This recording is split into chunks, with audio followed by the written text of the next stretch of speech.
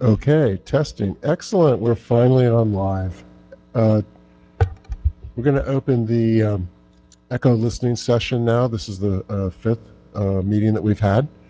And um, basically, we're here to hear what everyone has to say. Uh, So you probably are not going to hear too many comments from us. Um, At any rate, to start the meeting, we'll have Jill do a roll call Jay Pendergast. here. Pat Northey. Here. Jeffrey Alt. Here. Sarah Lee Morrissey. Here. Pat Patterson. Here. David Romeo. Here. Reggie Santilli. Here. Stacy Simmons. Here. Jack Surratt. Here. We have a quorum. Uh, Excellent. Um, We'll be uh, presenting a- the Echo um, video of the program, explaining uh, what it does and some of the recommended uh, improvements to it.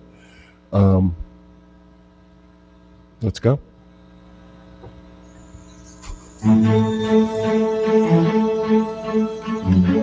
Welcome to today's ECHO presentation. Today we're going to give you a brief history of ECHO, show you the ECHO video, go over the ECHO processes for the various grant programs, talk about the recommendations from both the auditor and the advisory committee, and then hear from you with public comments and questions. What is ECHO? Volusia ECHO provides grant funds to finance acquisition, restoration, construction, or improvement of facilities to be used for environmental, cultural, historical, and outdoor recreational purposes. The Volusia Echo program, generated by a grassroots initiative, resulted from a citizen-approved referendum passed November 7th of 2000. On November 3rd, 2020, Volusia County voters reauthorized the program for another 20 years.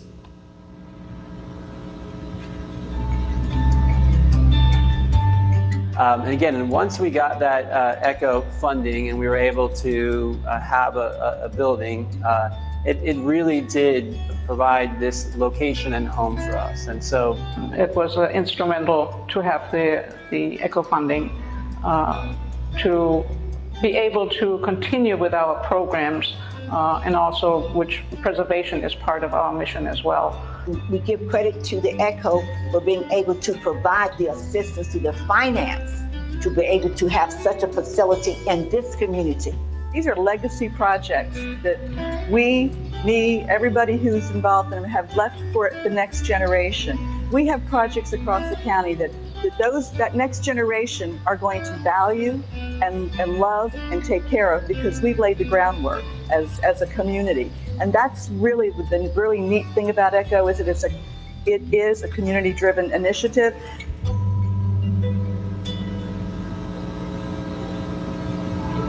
In 1998, Volusia County residents and community leaders brought to the County Council a funding idea to enhance environmental, cultural, historic, and outdoor opportunities. Community members identified goals, purposes, and objectives during multiple meetings. We formed a committee. We went out and did listening sessions around the county and listened to what the people said. If you put, if we vote for this, here's what we want you to do. Here's what we want you to spend the money on.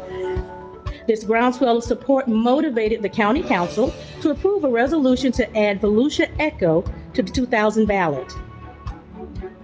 With its passage, voters agreed to contribute 20 cents on each $1,000 of taxable value toward the fund.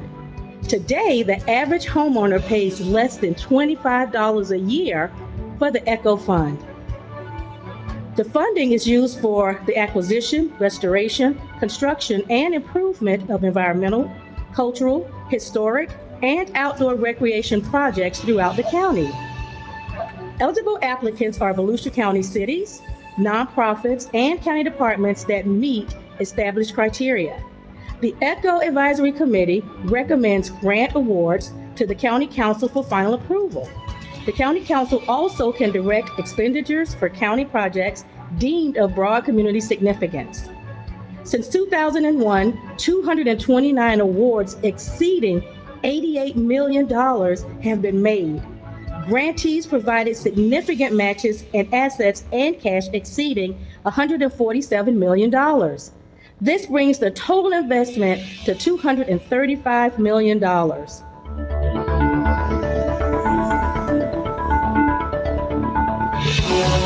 Volusia County has a diverse and delicate ecosystem ranging from low beach and marsh areas to high and dry pine forests.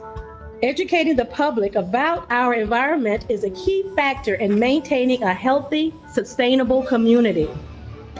Since 2001, ECHO Awards have supported environmental learning centers and education habitats. These facilities teach the public about the importance of maintaining ecosystems while meeting the demands of our growing population. Projects have included the Central Park Environmental Learning Center in Ormond Beach, the Lyonia Environmental Center in Deltona, and the Marine Discovery Center in New Smyrna Beach. All of us are thinking when we're pie in the sky, we're thinking of money because that's always the first barrier. And so Echo really helps take that away. Now, as you know, Echo doesn't provide operational support. What it provides is, is support for you know the capital brick and mortar projects. And so uh, for us, when we're going through these planning phases, we'll look at okay, what are our sources of funding available? And that helps us determine, you know, what's feasible and how do we phase it when. Um, it, you know, we've gone from seeing, you know, a few thousand a year to seeing well over 30,000 a year. And, and Echo has been a big part of that because of having a facility.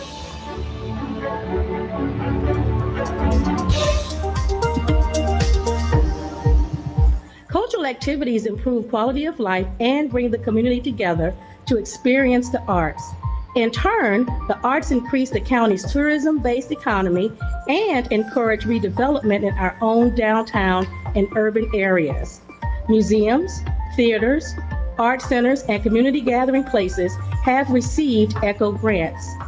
Some of the more notable projects include the Little Theater of New Smyrna Beach, the Museum of Arts and Science in Daytona Beach, and the African American Museum in DeLand. When the amphitheater came up, it was opening was in 2004, that was phase one. Well, there was a phase two. And the phase two is to construct a new museum because that is our big dream. Because if you can do it once, surely you can do it again. So that is how I feel about the ECHO.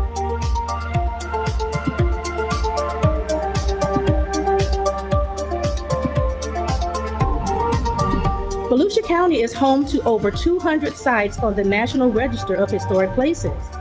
They include downtown neighborhoods, individual buildings, archaeological sites, and agricultural and educational districts. ECHO funds have enabled the acquisition, stabilization, or restoration of many of our historic properties. Examples are Lillian Place in Daytona Beach, Athens Theater in DeLand, and the Pioneer Art Settlement in Barberville.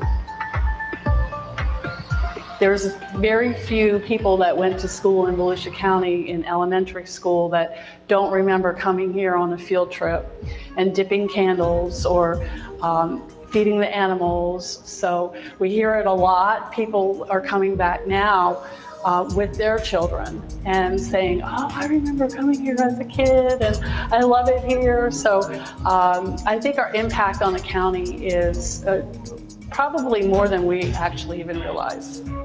In 2010, the Florida Trust for Historic Preservation awarded Volusia County the Outstanding Organization Achievement Award for its commitment to historic preservation through the ECHO program. Without the ECHO funds, the settlement, I can't even imagine what it would be because the two buildings that the ECHO funds have helped us with are so important to our existence.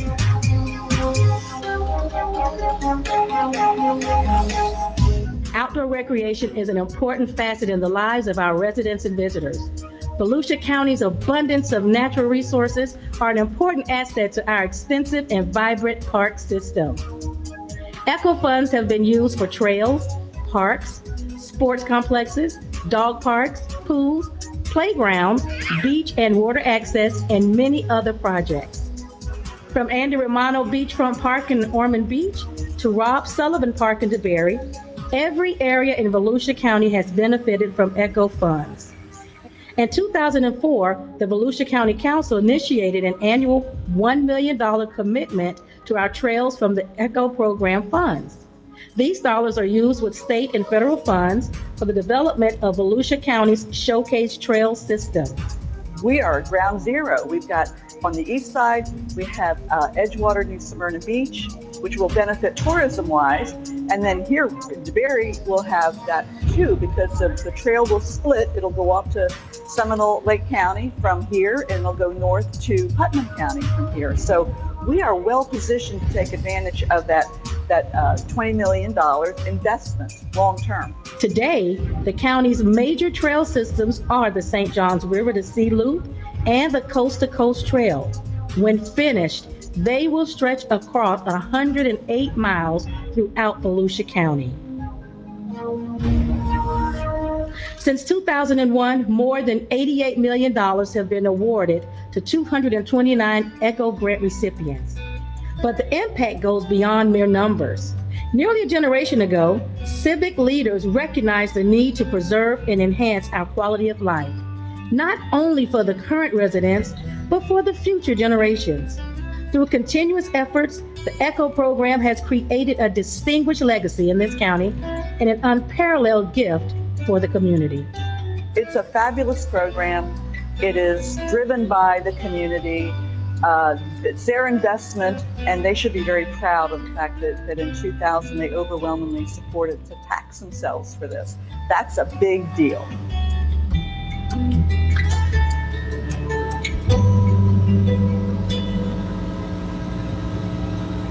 There are four ECHO project types.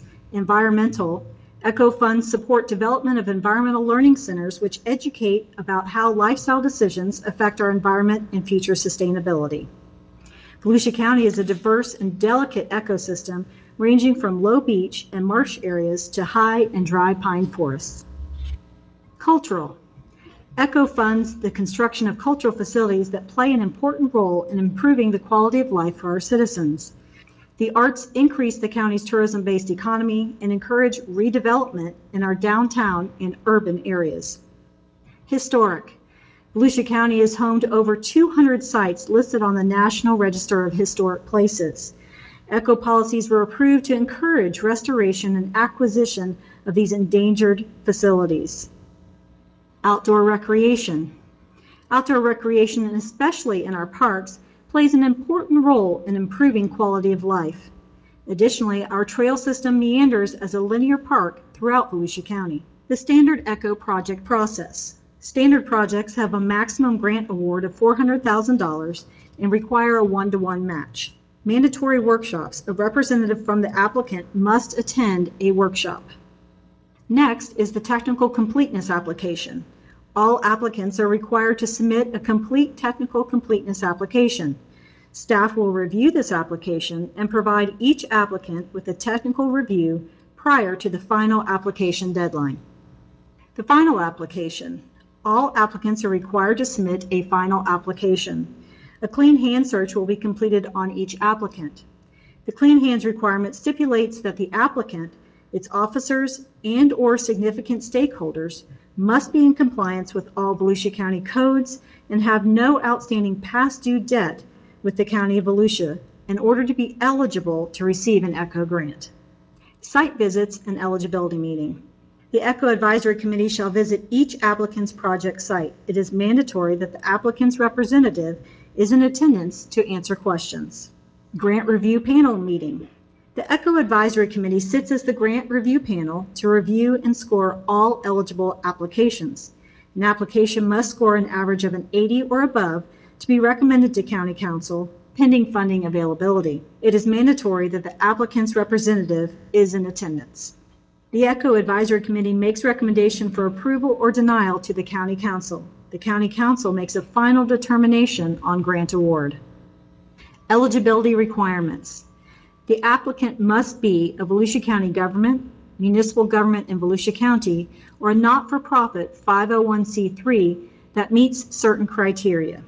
First, must be incorporated within the state of Volusia and classified as a 501c3, maintained incorporated status for more than two years prior to the application deadline, or incorporated with the state of Florida for less than two years at the time of the application deadline, but has provided operations in Volusia County for a minimum of 10 years and provided the most recent five years of independent certified audits and management letters or is a registered foreign corporation doing business in the state of Florida with a local group within Volusia County that can provide evidence of public service to Volusia County citizens for the five-year period prior to the ECHO application deadline.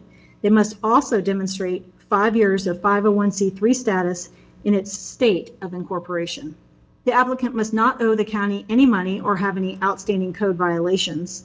They must have satisfied all administrative requirements of previous grants, agreements received from or administered by the County of Volusia. And they must also agree to the match as outlined in the documents. ECHO funds are to be used solely to finance acquisition, restoration, construction, and improvement of environmental, ecological, cultural, historical heritage, and outdoor recreation facilities for public use. Only one application for the same project, facility, complex, or site will be accepted in a single grant cycle. There may be no more than two open ECHO grant awards per project site.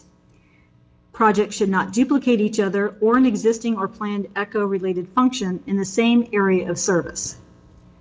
Projects solely for depreciable items with less life expectancy than the required grant agreement period are ineligible. Clean hands. The ECHO staff will conduct a clean hand search prior to determining eligibility. We recommend that applicants request a clean hand search prior to submitting an ECHO grant application. Public access and ownership. The project must be accessible to the public for a period of 40 years from execution of the grant agreement. Public access to the project must be three years for a standard grant and four years for an exceptional grant. Documentation of ownership or lease must be for at least 40 years. The following are not eligible. Only access to the exterior of a building, intended for students, faculty, or staff, intended to augment or support curriculum, multi-use campuses, complexes with no designated parking. The exceptional grant process. A project of paramount and crucial countywide importance provides services to all areas of the county. A maximum of $1.8 million or $600,000 each year for three years with a match requirement of four to one. All other parts of the grant process remain the same as the standard grant, including the ECHO workshop, technical completeness application, final application, site visits, eligibility meeting, grant review panel meeting, and final award by the county council. Exceptional grant examples include Earl Brown Park in DeLand and the Museum of Arts and Sciences in Daytona Beach. Critical Historic Acquisition and/or Stabilization Grant. This program was approved in July 2009 to address the immediate need to acquire and/or stabilize historic buildings outside of the standard grant cycle. The process for this grant is similar to the process used for a standard grant application. The difference is the applicant's responsibility to provide credible evidence of the importance of the historic project, the need for immediate intervention, and the ability to fully support the operations. The maximum award is $600,000 and requires a one-to-one match. Direct county expenditure process. Resolution 2001-56 allows for the county council to fund projects by direct county expenditure for county government projects or by grant and aid awards. Resolution 2013-202 states the county council will present direct county expenditures of ECHO funds to the ECHO Advisory Committee for review. Internal audit. On May 11, 2020, the county's internal auditor presented the ECHO internal audit report and made recommendations to the county council. On June 25th and July 30th, 2020, the ECHO Advisory Committee reviewed those recommendations, accepted them, and made recommendations of their own. This presentation lays out both sets of recommendations. Increase the standard grant award from $400,000 to $600,000 annually. The source of that recommendation is from the audit and from the committee. Reduce the percentage of cash match required for nonprofit organizations depending on the nonprofit size. The source again was from the audit and the committee. For the cash match, the percentage is reduced from 50% and is dependent on the nonprofit size. The guidelines to determine the size of the nonprofit match, the guidelines of the audit requirements for nonprofits are as follows. The average of the last three fiscal years' operating revenues or expenses is used to determine the percentage of cash match that must be provided. If the annual average of the three fiscal years completed prior to the application deadline is $500,000 or greater, the applicant must provide 40% of overall match in unencumbered cash or expenditures. If the annual average of the three fiscal years completed prior to the application deadline is less than $500,000 and greater than $250,000, the applicant must provide 30% of overall match in unencumbered cash or expenditures. And if the annual average of the three fiscal years completed prior to the application deadline is less than $250,000, then the applicant must provide 20% of overall match in unencumbered cash or expenditures. Include language that requires staff internal final completeness review to include if a project has public accessibility regardless of anticipated future phases. The source was the audit. Increase exceptional awards from $1.8 million to $2 million. The $1.8 million is with a distribution of up to $600,000 for up to three consecutive years. The change would recommend that $2 million with a distribution over a three-year period, but doesn't limit the amount per year. This still requires that the exceptional project has a regional impact. Additionally, we would change the match requirements for exceptional awards from four to one to one to one.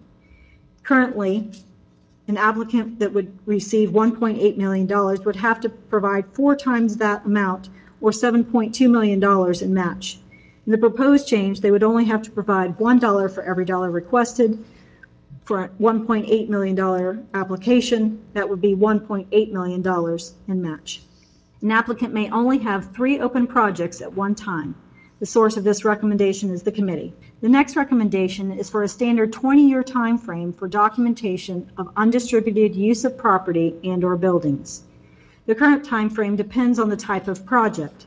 A restoration renovation project requires 30 years. Expansion addition projects, 30 years, and new facilities require 40 years of undistributed use of property and/or building sources. The current time frame depends on the type of project. Restoration renovation projects are for 30 years. Expansion and addition projects also 30 years, and new facilities are 40 years. This recommendation would require 20-year time frame from documentation of undistributed use of property and/or buildings. The source is the committee. The public access changed from four years from award to three years from award for a standard grant. Public access changed from four years from the dates of last award to four years from initial award for an exceptional grant. Construction documentation requirements were elaborated to ensure projects are ready to move forward if awarded a grant. Source, the committee. Require the business plan, feasibility study, and marketing plans to be specific to Volusia County. Source, committee remove the requirement for exceptional projects to be in the top two of the regular standard grant cycles. Source committee. Include language that requires the clean hand search is maintained in the project file. Source the audit. Require ECHO grant agreements to be executed by the applicant prior to county council approval. If approved, the county council will execute the agreement on the date of approval. Source the audit and committee. Require that proof of a performance bond naming Volusia County as a co-obligee be submitted before a notice to proceed is issued. Require the Volusia County logo and ECHO logo to appear on the project and applicant website and in all media, print or electronic for the project within 90 days of award. Source, the committee. Include language that any extension requiring more than an additional 365 days beyond the time period will be reviewed only twice a year. Include language that a summary of the quarterly reports will be provided to the ECHO Advisory Committee. If quarterly reports are not submitted or not submitted timely for two consecutive quarters, the grantee will be required to attend an ECHO Advisory Committee meeting and provide a status update. Quarterly reports are due on the 15th day after the end of the quarter. Include language that site visit and completion of a monitoring worksheet will occur at least twice a year during the construction phase. Source, audit, and committee. Include language that projects will be visited and a completion of a monitoring worksheet will be completed on a tri-annual basis. If there are concerns, a site visit will be completed on an annual basis or more frequently if warranted. until the project receives three consecutive clean monitoring reports. Source, audit, and committee.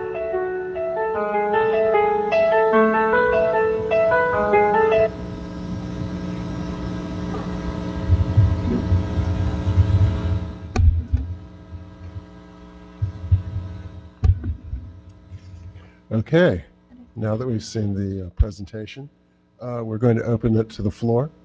And um, we just ask you to uh, come up to the microphone and state your name. And um, we're here to listen. Maggie Ardito.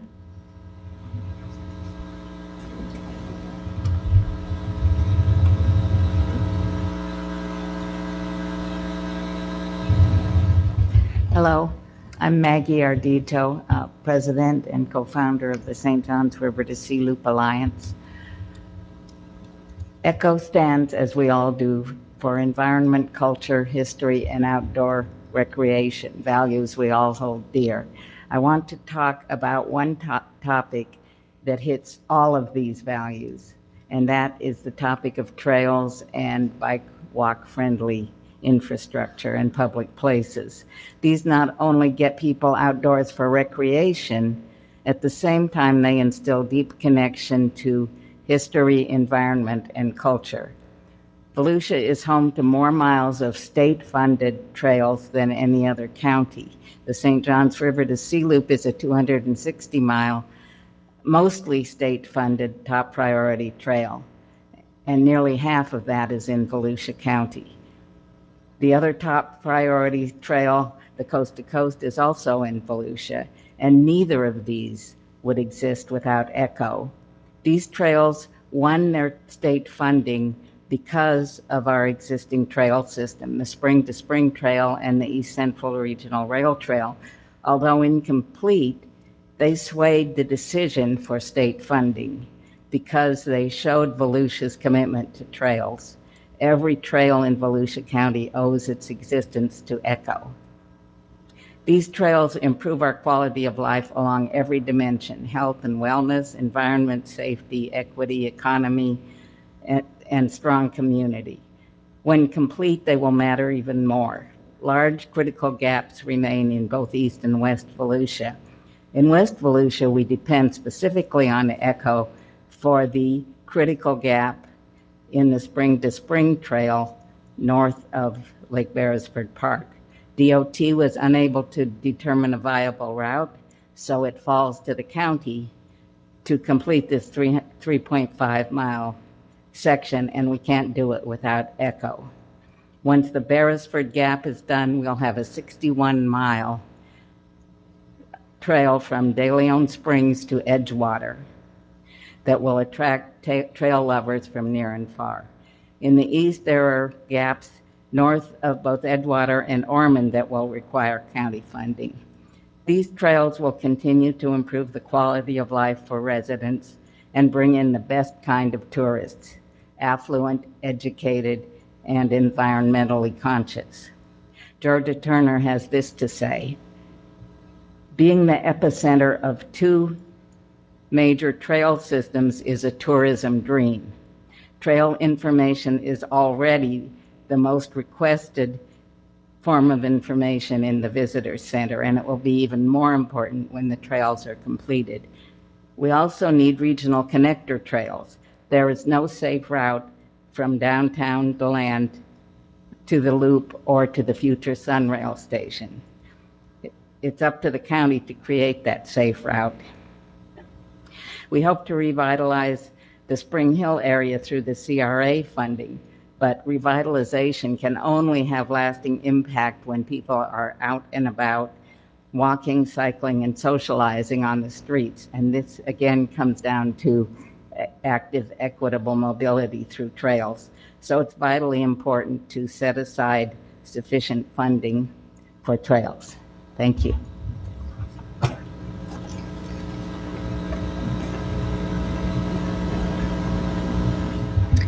Wendy Anderson.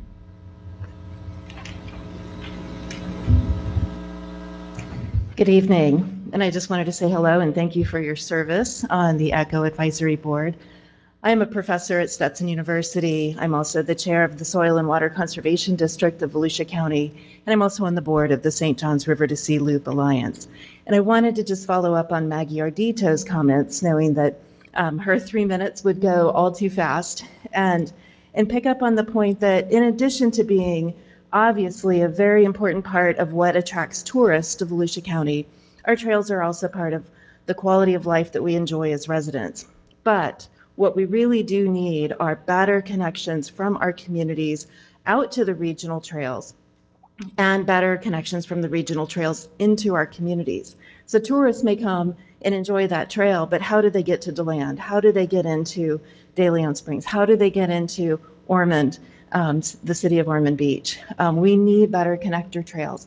And these are important not just for tourists, but the connector trails also become part of um, the opportunity for our residents to be commuters, to be able to actually ride their bikes in safe, um, separated trails um, off of the streets where, where traffic might be um, a little bit more dangerous for them. So we're hoping that ECHO funds might be able to be applied to creating some of those connector trails that serve both residents and tourists.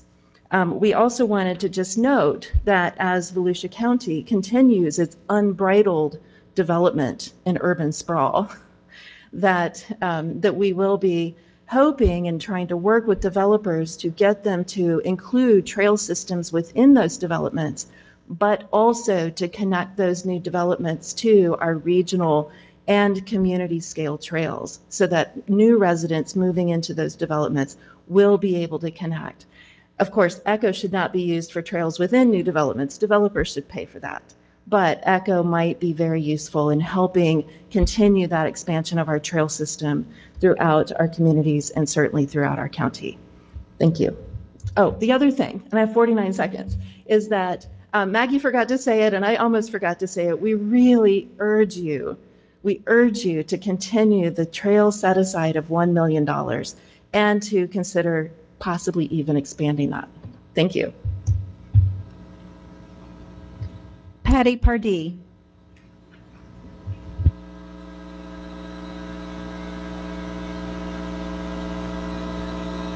Thank you. I'm Patty Pardee. I'm the Executive Director of the Museum of Art DeLand. And our organization is entering its 70th year of service to uh, the people of Volusia County. Um, we have a long history, but we also have some exciting plans for the future that include embarking on a capital campaign for our location at 600 North Woodland Boulevard. And as you know, many of the organizations that have benefited from ECHO funds over the past 20 years are now ready for improvements. And so we just, we appreciate your support and your service and ask for your uh, continued support to the long-serving organizations of Volusia County like the Museum of Art DeLand. We have some great things planned. Thank you.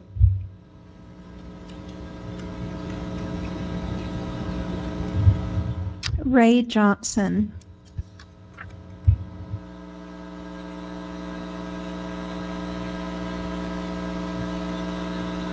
Good evening.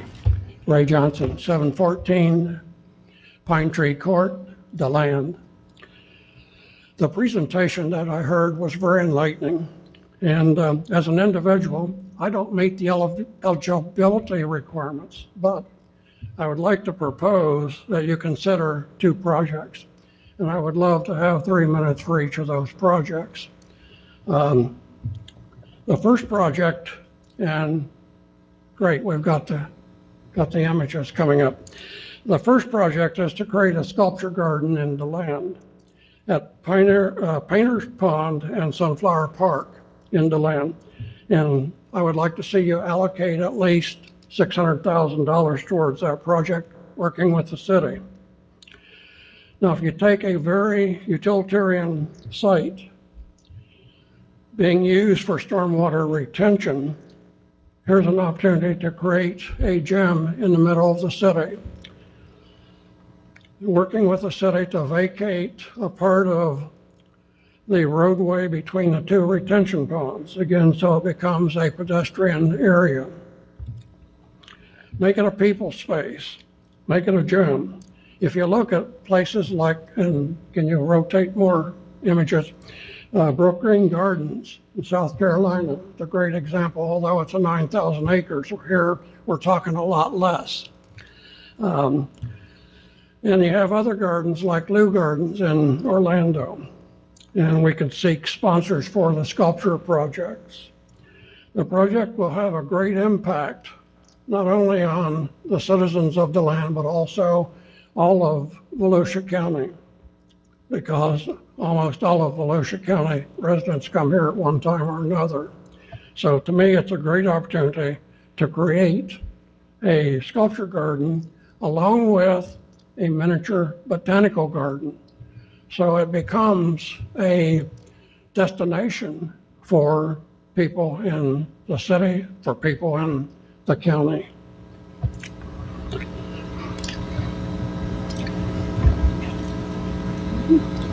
One more slide. This is the one where we have an opportunity to place sculpture within the retention pond area. With that, let me move to project number two, the town square. It's time, in my opinion, to reclaim the parking area on the west side of the historic county courthouse for a public plaza and also a sculpture garden, but a classical fountain uh, with sculpture, not too unlike what you see in the great fountains of Portugal or European cities. I propose that you allocate at least $1 million towards this project initially, but it does involve solving the issue of parking within the city. There are currently 128 spaces on the west side of the um, courthouse. And with a long-term vision of creating a parking garage, perhaps on West Rich, um, the project would be a win-win for the county and the city, as well as the businesses in town and the citizens of DeLand. It certainly would be a place for tourism. If we look at the town square in the European cities, it's a market square created as a center. And obviously, the historic courthouse is the center. It's a place for development of community, culture, and democracy. When you look at the history of what has happened in those town squares of Europe, it's a place for dialogue discussion, meetings, greetings, shared experiences, forming bonds. No subject in a town square is taboo. Um, mainly, they exchange stories about their lives, or experiences, details about family, work, state of health, their plans, their hopes for their dreams. The community exists only when people know each other's stories. And this is a great place to tell those stories. The town square fosters sociability, interaction. Sociability involves gossiping, bantering, storytelling, flirtation, joking, intermixed with seriousness and concerns for others. The town square is also a marketplace, and we have a great marketplace in Artisan Alley, but here's a place to expand that. Even today, the market is the most powerful mechanism for generating social life and economic activity. More powerful than any other activity on the square, more potent than the design characteristics of the surrounding buildings. City officials and county officials could let it be known that if citizens wish to talk unofficially about various subjects outside of office hours, they could meet on the square. A great opportunity to meet your local officials. Great diversity of users come to the square. The varied viewpoints and opinions come together on the square. In summary, and I'll wrap it up here, the square is the essence of the European city. And we need a square in DeLand And we have a great opportunity to do that on the west side of the historic county courthouse. It epitomizes the community's heritage and symbolizes its identity. Thank you.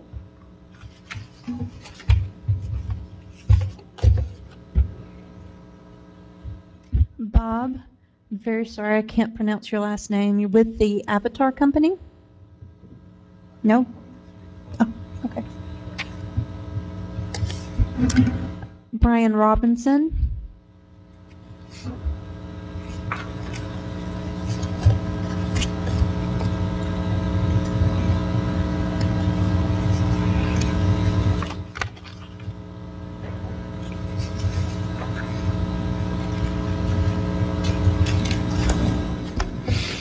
Good evening. Uh, my name is Brian Robinson. Uh, first and foremost, I'd like to thank the advisory board for recognizing me for this time on the floor. Uh, second, I would like to state that I am a graduate and ambassador of the Save Our Springs and Rivers Academy under the Riverside Conservancy umbrella. Uh, finally, I'd like to state that as everyone in the room, uh, I am a con- conservationist by birth. Uh, I was raised in, Flor- in Hastings, Florida, uh, right across from two large potato and cabbage fields. Um, the companies that own those fields, they pump unknown amounts of chemicals into them, and to the point that the running joke was is that the residents of Hastings would be drinking sulfur water for the next hundred years. This is an industrialist mindset that has to change. So with that said, I'd like to make three requests of the council. Uh, one, allow the use of ECHO funds for planting shorelines and aquatic buffers with appropriate veg- vegetation and living components. Two, allow the full purchase price for appraised va- or appraised value at the land and of land to be used as cash match for living shoreline restoration. And three, allow 15% of each grant to be utilized for project management during the first year of operation. Thank you for your time and attention.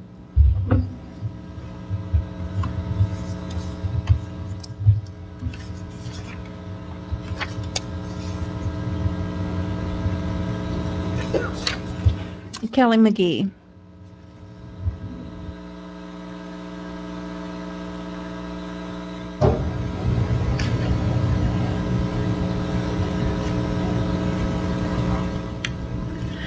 Thank you so much. I'm Kelly McGee, Executive Director of the Riverside Conservancy. Uh, when I spoke to you in Deltona, I saw out of the corner of my eye I had three seconds left. Turns out I had 30 seconds left. So um, thank you for letting me speak again this evening. Um, I have submitted a letter for your consideration on behalf of the Riverside Conservancy with a few um, recommendations for you all. Um, I have some slides that sort of walk through that. I'm not going to go through all of the slides, but um, I just would like to point out to you all that only 5% of the ECHO funding that's been awarded has gone to environmental programs. And I think that part of the reason may be because of um, the, the idea that it's, uh, that facilities are required as opposed to programs. Thank you so much. Um, and actually, if we, if we look at the ballot language, it says programs and, and not facilities. So just something for your consideration. Um, again, here's the ballot language, and I'll just try to roll through some of these. Um, clean water is a unifying issue. And um, so our first three comments, as Brian mentioned, is allowing um, funding for living shorelines, um, allowing the, oh, also just as an FYI, I promised you definitions of green infrastructure. So these slides have definitions, has the EPA definition, um, we have the Florida DEP definition, um, and uh, what my recommendation would be for a definition as well as um, a slide about NOAA's um, information about living shorelines. And um, so uh, you've got all of my recommendations in here, so we can just go to the very end perhaps um, with the pho- photographs.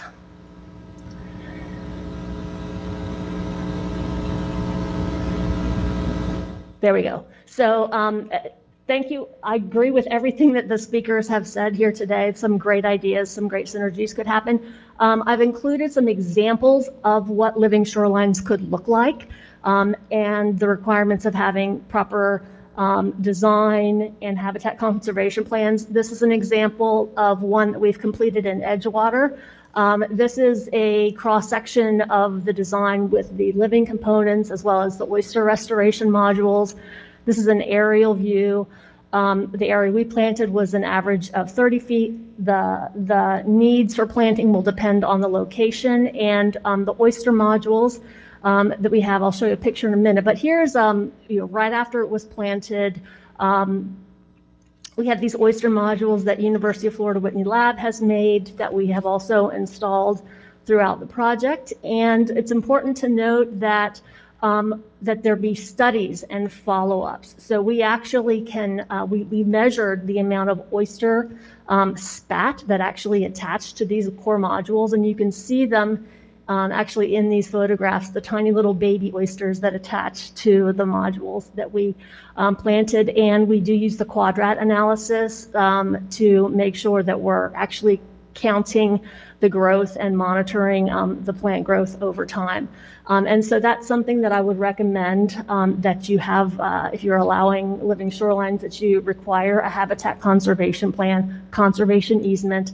Um, I, I urge you to uh, recommend to the county council that they open the grant cycle this year with um, perhaps our top three recommendations and the recommendations of this committee and um, continue working uh, to make improvements over time and even perhaps have a joint um, workshop with Volusia Forever to see if there are synergies that could happen. Thank you so much.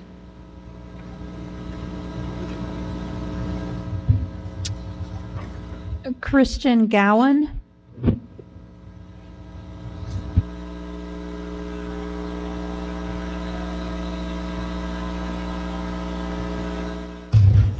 Hello, everybody. Christian Gowan. I live here in DeLand.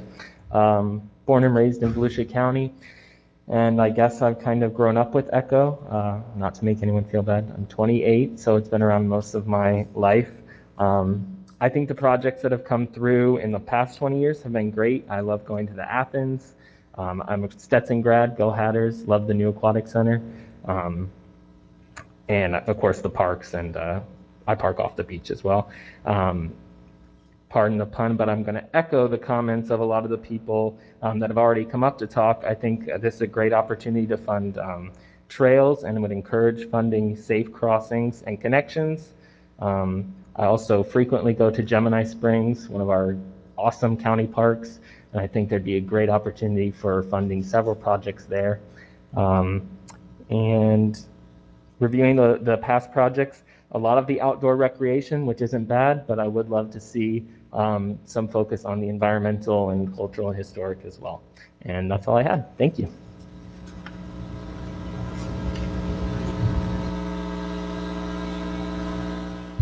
Is there anyone else who'd like to speak?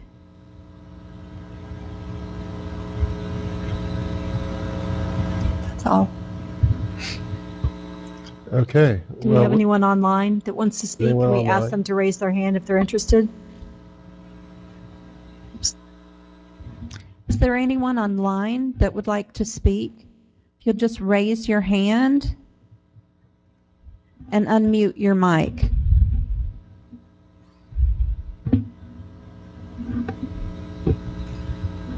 Can you hear me? Yes, we can hear you. This is Fred Peace. Yes, this is Fred Peace, 1571 Allenson Drive, DeLand, Florida. Friends of all that have spoken tonight, I know you, worked with you in your projects. I love all the um, process that, um, and appreciate all that are on your committees and that this, uh, these two programs, Echo and Forever, have provided for the county. I want to address generically issues of process, and there are two different ones. Uh, the two, first issue I'll call the haves versus the have-nots, and the second issue I'll call avoiding potential liability. Issue one, haves versus have-nots. The overall ECHO grant application process, the requirements for procurement and approval, subsequent funding, which needs matching dollars is very burdensome and discouraging for small group organizations, nonprofit organizations, and private interest groups, such as historic societies, visual arts museums, performing arts groups, theaters, and environmental groups are positioned at a major disadvantage compared to the abilities of government agencies, either county or city, to obtain grant monies and administer their projects as outlined in existing criteria. Please look into creating a different set of criteria for the little guys, the have-nots. Access to public dollars intended for ECHO projects to be fair and reasonably attainable for all these nonprofit groups and organizations. Issue two, avoiding potential liabilities.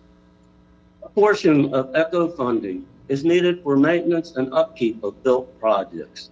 This maintenance and repair need is particularly evident in the many miles of bike trails and pedestrian paths. Repair of potholes, eroding path edges are evident in abundance.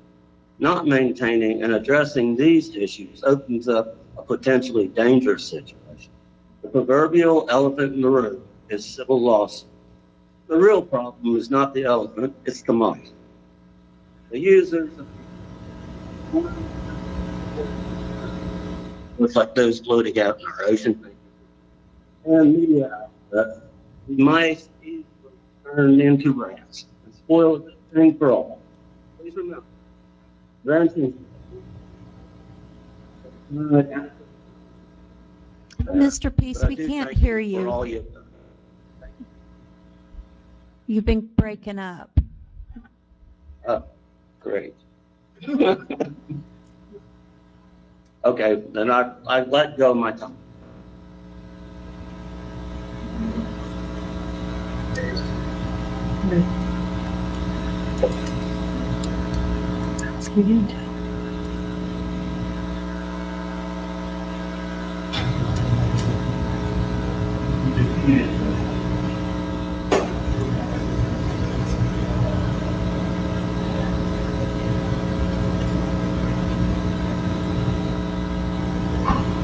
Is there no one else that wishes to speak, Jill? Okay. Okay, well, with that, we will close the um, uh, public comment portion of the listening session. Um, I I have a comment uh, that I'd like to make. Uh, One of the board members um, has requested that at our next meeting, uh, an awful lot has come up about the trails. And even tonight, there were even more questions uh, coming up.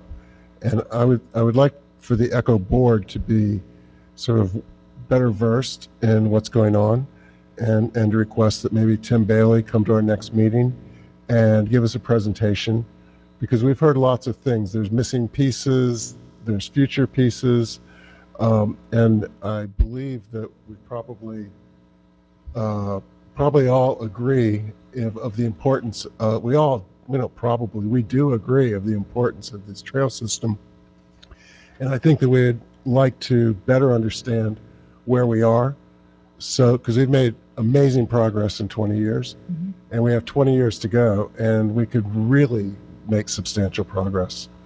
So, without being too wordy, uh, is it possible that Mr. Bailey could? Absolutely. Give us a He's already planning on it. Giving your concurrence, we'll have him there. Thank you. Are there any uh, other comments from the board members? Yeah, I have, I have a couple. Um, uh, The materials provided by the Riverside Conservancy, uh, can that be distributed to us um, before our next meeting? Yes. Okay, good. Also, um, I was wondering how these recommendations are going to be compiled and put together so that we can talk about them each one uh, when in fact we get together next time. We don't, you know, at this stage, we've had a number of recommendations, uh, but is there going to be a list or some sort of, of method to where we can discuss all of the good recommendations from all of the listening sessions? Well, the answer is yes. Um, the uh, all of the uh, people who have spoken at the past five meetings, uh, all of the comments are being combined or put together in a report uh, that Jill's working on now, and I believe it'll be ready for our next meeting. It will be. We're actually going to be putting them into categories. So things that are like nature. So if there was a trails, there's a lot of different comments on trails. We'll have all of those things that are recommended to you by the public, so on and so forth, all the way down, down for your conversation. I see. So, so it would be an all-inclusive uh, lineup. There's no, there wouldn't be any priorities and nor picking and choosing between them. Absolutely not. Good. Yes, sir. Thank you. Um, I just, I, I did have a specific question for Ms. McGee, if, if I could Yes, ask a please. question about the presentation. And while she's coming up, I'd, I'd just like to say to my fellow board members and also to the staff, I have really enjoyed these listening sessions. And I think all of the things that we've heard reflect such a, a wonderful variety of interests that Echo has been able to address for 20 years. And I, um, I feel very privileged to be up here and be a part of this. And I just wanted to share that. Um, Ms. McGee, one question I had in your presentation, and I'm just trying to get uh, a better understanding because we've heard comments about shoreline plantings at several of our sessions. The example that you showed in this um, PowerPoint, can you give me an idea of what kind of lineal feet that Yes. was for planting and um, the overall cost slash budget of that? And then um, was there, is there an actual conservation easement over the lands that had all the plantings? Sure. Um, so the linear foot, actually, we've included the, the, the measurements in the PowerPoint presentation, but it was approximately 500 linear feet of planting and 300 linear feet of oyster restoration. Um, the, the cost, Riverside Conservancy, we did all of that on a $15,000 um, budget with a lot of in-kind, um, probably close to $30,000 of in-kind work um, that we put into that. And um, there was no need for a conservation easement because it is public lands. It's in the city of Edgewater, the Veterans Memorial Park. And what we did, uh, we issued, um, we submitted a letter of indemnification to the city along with our plans. The city commission approved the planting, and so we really did this in partnership with, um, with the city and with some local citizens. Um, Did you have another question? No, that missed? Okay. You did good. Thank you. Oh, I should mention, we're, we're- this year, we have a $65,000 grant from the St. Johns River Water Management District. We're planting a quarter mile, and the idea is to get a, a sense of what's the actual cost. Let's say if a group of homeowners wanted to come together, 10 homeowners, one conservation easement along those 10 properties, how much would it cost? Um, So that we can have a more standardized breakdown, but it really does depend on the, on the topography. Thank you.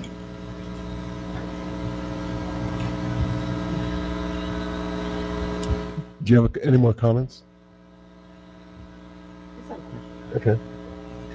So the question would be, um, is there a planned meeting for the advisory board in May? Thank you. The 13th. Our next meeting is uh, May 13th. Yes, Jeffrey? Determination? Has there been a determination, are we going to have a workshop with council in June? We'll be discussing that at the next meeting. It, it really depends on how much work you get done, if you feel ready. It, our agenda process takes a little bit. So, um, there is definitely a, a planned workshop. When it is, we're not really sure yet. So we'll wait and see how much time you need to get all your, your, um, ideas ready to forward on and have discussion with them. Uh, um, piggybacking on that workshop idea, I, I do see some commonality um, in, in specific areas between some of what we've heard and um, Volusia Forever. And I, I certainly, it would certainly make a good use of time um, I would be open to sharing a workshop setting with the council as well as Volusia Forever. My recommendation actually to the chair earlier this evening was that um, you all consider having a joint workshop first with both Echo and Forever boards, because I do see some synergy. I, um, I've talked to quite a few folks that see some synergy. Kelly and I have talked multiple times. Could easily combine these living shorelines if it was something you're interested in with the Forever and Echo process. There's been discussions of Echo being invested into like Forever properties or um, investing in their trails, you know, different types of trails that we have in Volusia County. So I think it'd be great for you all to sit down together. So that would, you know, delay us a little bit. Though I still think that we could get to what some folks have expressed interest in is having a cycle that begins in this fiscal year. But we definitely have to be on target and make sure all those things got done quickly. But uh, the Forever does not meet again until, um, I believe, June, because their their meetings just started last night and will go all the way through May. Well, could, could we request a, um, a meeting with them as soon as possible? Absolutely. They probably want to get through their listening sessions and then meet with you. So maybe sometime in June we could do that, Mhm. or um, first thing in July. Because I, I agree. I think it's important that we get these cycles moving and, and also, you know, have all the facts at, at hand so that we can move forward, you know, in an intelligent way. Absolutely. We'll put it on our list.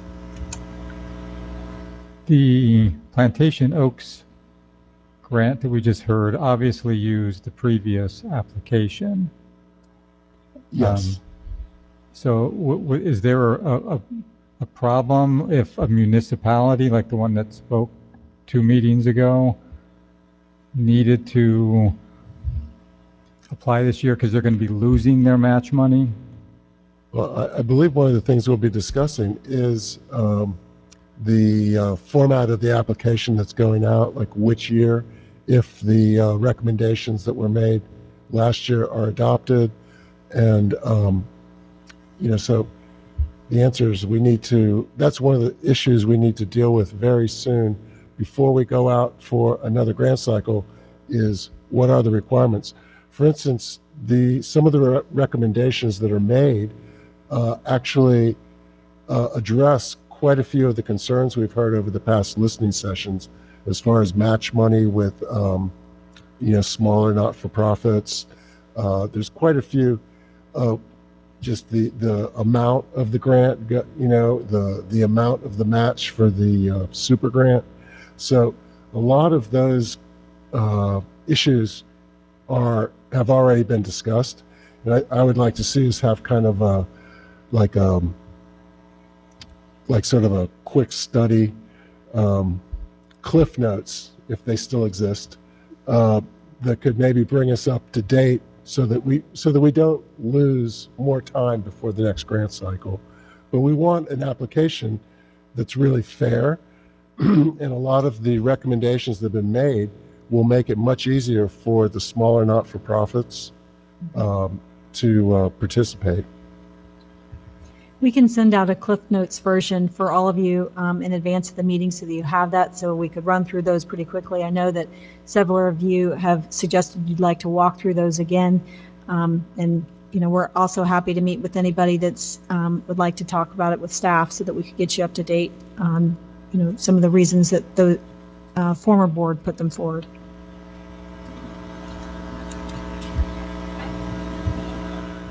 Are there any further questions or comments? Well, with that, meeting closed. Thank you.